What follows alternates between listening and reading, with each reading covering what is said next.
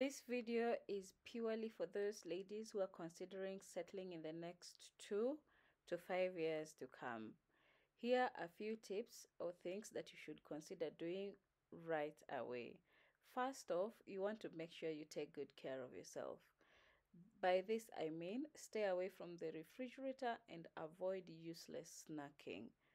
Also, create time to work out, exercise, stretch, or dance make sure you drink a lot of water and hydrate. Just take good care of yourself in that by the time you uh, be living with a man or you get married you don't forget to take care of yourself and you don't start to look funny or smell funny.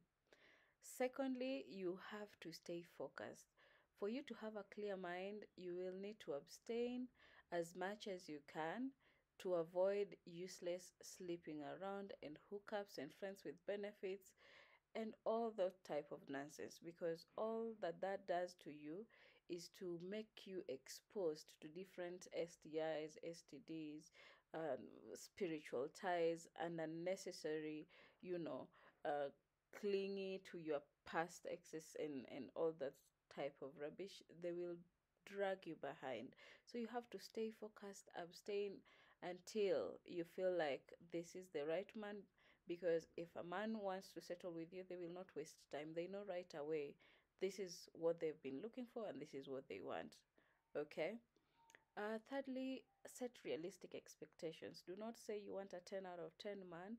You're not tall, dark, handsome with a big dick, no kids, never been married, big house, nice car, wealthy family, huge ass company. Be realistic. Rate yourself out of 10, okay?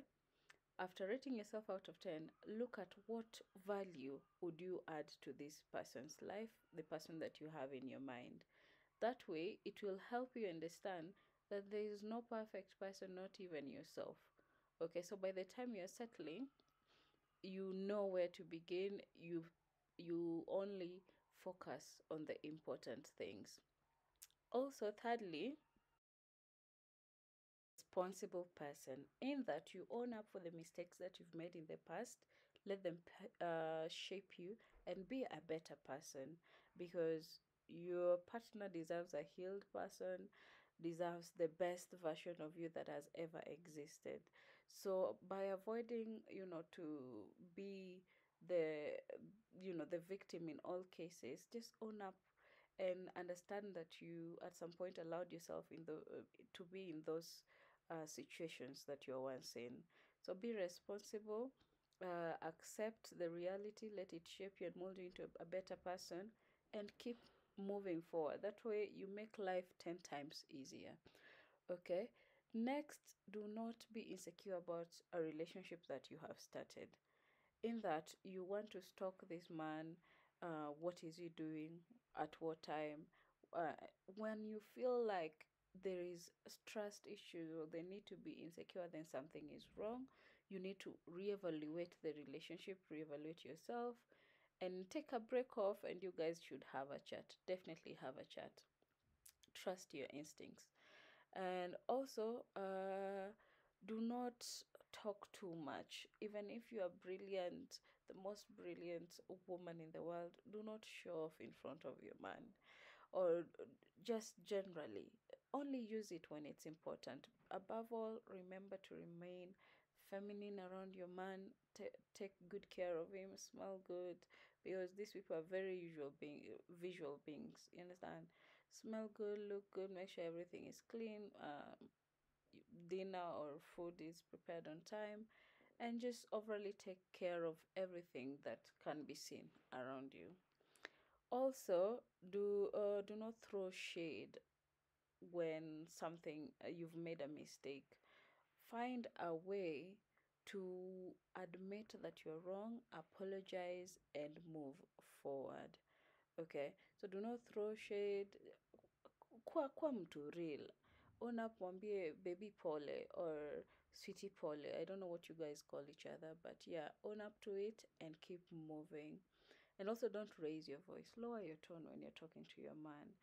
Tell him uh, how you feel about the matter without creating unnecessary drama or letting everyone into your business like your neighbors know to know knowing what's what's happening. Sawa sawa najua sira ni mbaya but be the one who has self control if he doesn't or if he's impatient because you know these people sometimes are very impatient. Also uh, i'd like you to imagine yourself settling. See it happening. You have to visualize yourself settling. You have to just don't say you want it. You have to create a desire for it to happen. Because what all of us tend to forget is that before things happen into the real world it starts with the spiritual world all our bodies are hosts of us. Okay? But that's another topic for another day. So you have to visualize this and watch what you say about yourself the tone that you talk to yourself you know when you're by yourself and silent and you're like oh maybe i'm not good enough you're saying in your mind. Rebuke that and say you're perfect you're good enough everything is gonna go well and you'll start seeing great changes in your life a turnaround in your life. Okay. And if you have made some grave mistakes in the past you have to uh, to to consciously be aware of yourself that and tell yourself that you're not going to do this ever again. For example uh, addiction. Addiction is something that people battle for a very long time Uh, there are various forms of addiction, but you pick whichever that you can relate to and tell yourself this is not going to be you anymore. Okay?